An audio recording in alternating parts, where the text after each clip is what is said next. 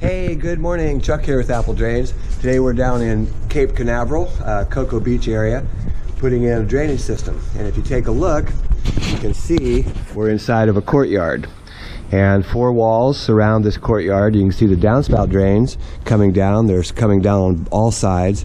That water comes down into the courtyard and basically just floods. Also, just rainwater drops down in here. It has no place to go. It has to flood and go out through that breezeway. But what it's doing is it's causing problems along the footer and water is entering the units on both sides. So we've left an estimate to replace and put in new footer pipe along here costly. So instead we're going to go ahead and put downspout drains. You can see the downspout in the corner behind that palm. Line is going to come down, trench all the way over back to where Chuck is and sump pump will be down there. We'll also put some catch basins here in addition to hooking up the downspout drains as well to collect this water and then the pump will lift it up and send it out. So we have a couple of sidewalks to tunnel and real simple to do, especially in sand. The best way to tunnel, you dig a trench to the to the sidewalk so you can get your shovel down in here. But the secret is to scrape at the top of the concrete, scrape it to the top, pull it down, then you pull it out. It comes out pretty quick. We also have a power line right here, but it's not really in the way. So you pull a little bit out the top, you get a shovel full, and get rid of it. Real quick. Again, pretty easy in the sand, but it's the same, even if it's clay, works exactly the same. Remember to scrape at the top.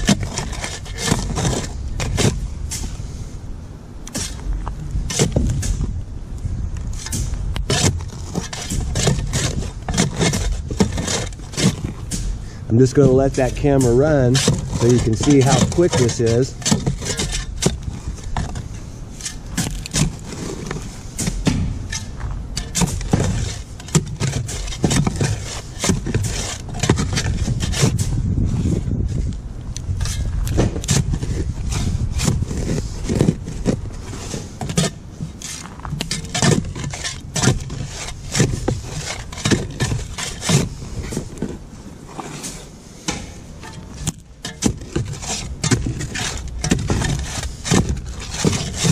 And I believe that we're through.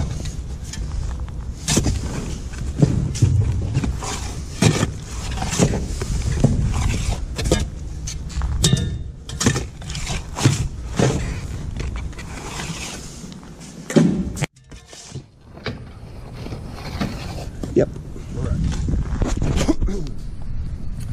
So you can see we've come right through.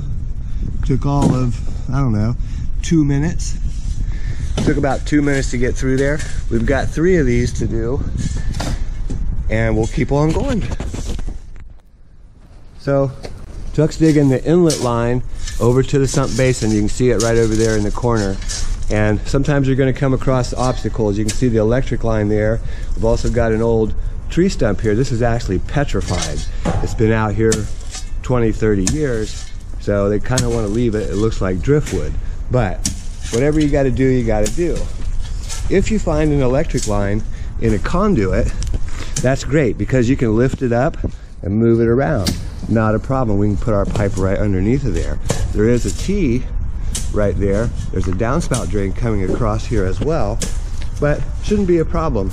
Okay, it's time to set up our sump basin, and the sump basin comes with two nipples, and they're usually at the right depth. If not, you can always drill a four-inch hole to accept your inlet coming, your inlet line coming in. Real simple. Get a sharp hacksaw.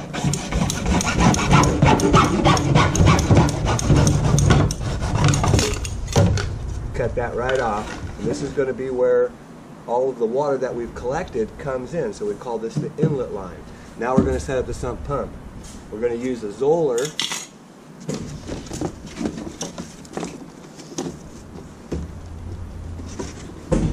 We're using a Zoeller M98. It's a half horsepower pump. This pump is extremely powerful.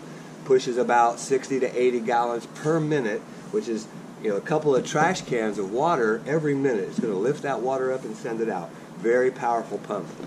To set that up, This pump's heavy. It weighs about 35 to 40 pounds. Sets up pretty quick. It's got a port right here with threads. This is the the this is the discharge of the pump. We're going to start with a male threaded inch and a half adapter and we screw this in here hand tight as tight as we can make that with our hand.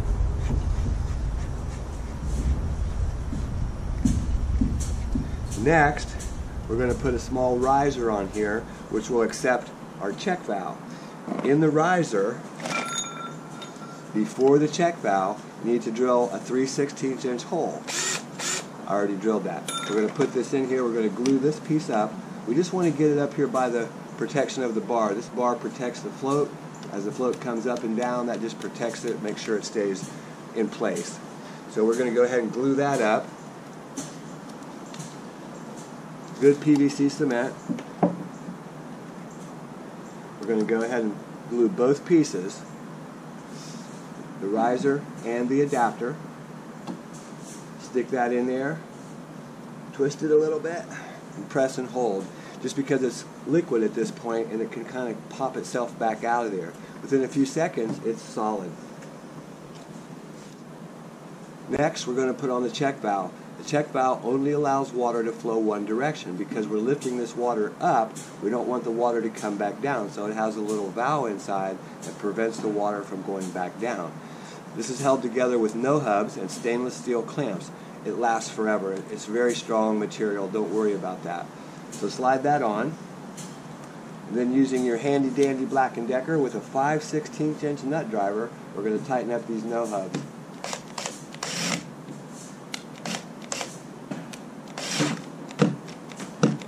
Just as tight as that drill can make it.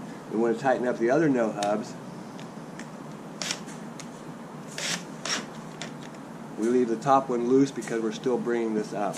Now we're ready to go ahead and install everything to this point. Um, we'll have another riser here at the top, if you can see that. We'll have another riser here at the top that will come up with a 90 and send it out of the basin.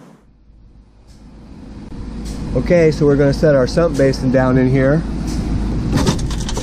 We want to make sure that that nipple that we cut open is pointing into our trench. This that simple.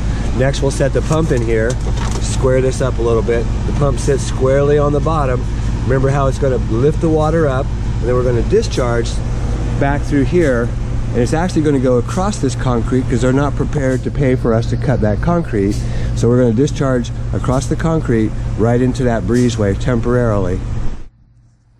So next we're going to use a two inch hole saw and normally we come out through the side of the pit. But because they're doing this temporary discharge, we're gonna bring it up and across the ground.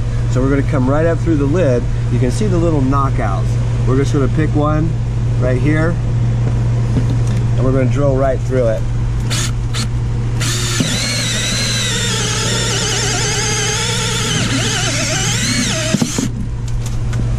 You'll notice that the knockout is also two inch because it's a perfect size for inch and a half pipe. Now we're going to be able to send that riser up through the lid and be able to discharge.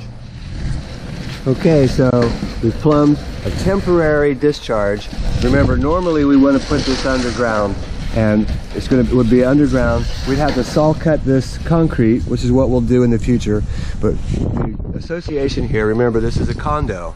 And so the association just doesn't have quite that much money. We temporarily plumbed it out and let it turn into the breezeway and we'll let it discharge across the breezeway. So we're installing, putting down the four inch corrugated. This is solid pipe and it actually begins clear up there at the downspout. We're going to put a catch basin in, you know, one there, one here, one here, and another one to help pick up the surface water you can see all the sidewalks that we had to tunnel. Remember I showed you how to do that. Real simple. Pretty straightforward job. Something that you could do yourself, although you know there's lots of homeowners here. Uh, most of them are retired, so we're going ahead and installing all the system. So in addition to the downspout drains, we're also adding some catch basins. The catch basins are going to help to collect that surface water As you can see this is a courtyard and it's surrounded by four walls. So as water falls into this area, it has no place to go. These catch basins, we've got one there. On the other side of the sidewalk, we've got another one. We're going to put in two more basins along this line to help pick up the surface water that floods the courtyard when it rains. Okay, so basically we're backfilling. Remember how this system works is we've got catch basins. They're picking up surface water that floods the courtyard. We've got the downspout drains attached to the system. You can see here's a downspout drain and there's another one in the front corner. We're just backfilling. Those downspouts come down. They come through the line, another catch basin. Everything goes over to the sump pump. That's the heart. From that sump pump, the water's lifted up and sent out. Temporarily, because remember, this is a small association and it's fairly expensive to cut the concrete. We also have to cut the road behind here for it to discharge permanently underground and they did not want to spend the extra six or eight thousand whatever that was to do so but for right now, temporarily comes across and it just splashes down through the breezeway. You can see the downspouts are already going that way, and water does travel out through there uh, when it rains really hard. Hey, this is Chuck with Apple Drains reminding you that if you believe you can do something, I guarantee you can do it. Have a great day.